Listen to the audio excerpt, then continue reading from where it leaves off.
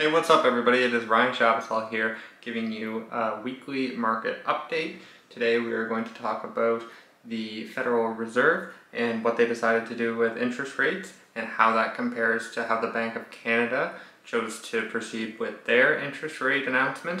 And then we will also talk a little bit about Canada's immigration figures, which were very recently announced and we are going to tie all of that back into housing and how it will have an impact on the Canadian housing market. So first off, the Federal Reserve proceeded to hike rates by 0.75 basis points. Now that um, delivered a very hawkish rhetoric from Mr. Jerome Powell.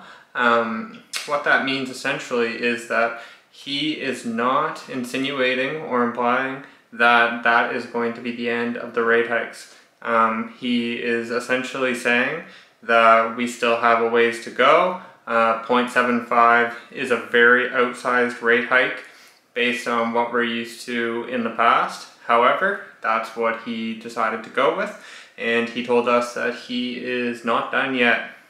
So that compares, interestingly, to what the Bank of Canada had decided to do previously um, they actually only decided to hike rates by 0.5 basis points.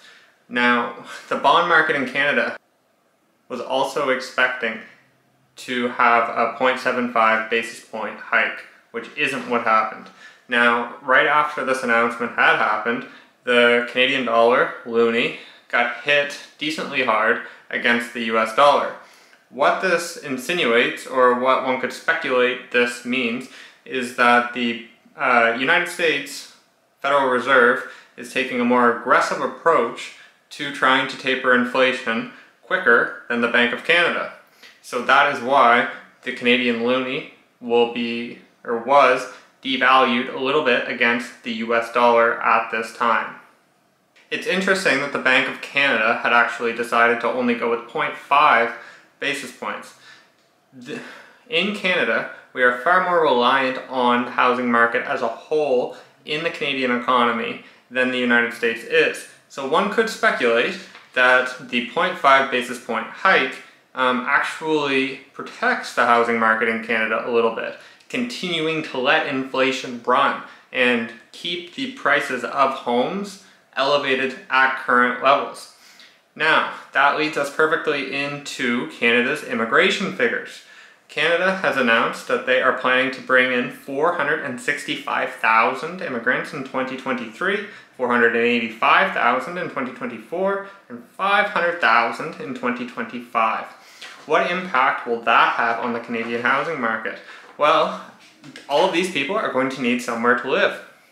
So, if you look at the supply and the demand side of the equation, this is going to directly impact the demand side of the housing market. Now, when we're impacting just the demand side of the housing market and there is no change to supply, then that is going to also continue to keep prices elevated.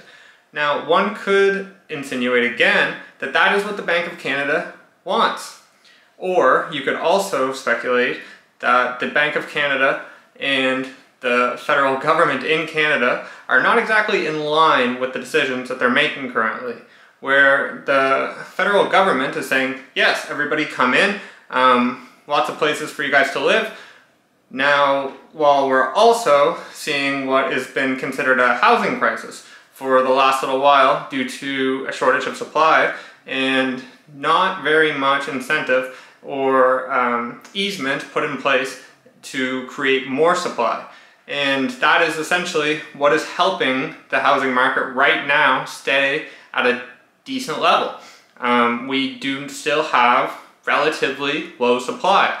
And I think that that is kind of what is happening with house prices not pulling back quite as quickly as some may have expected with the rate rates going up at the rate that they have been so far.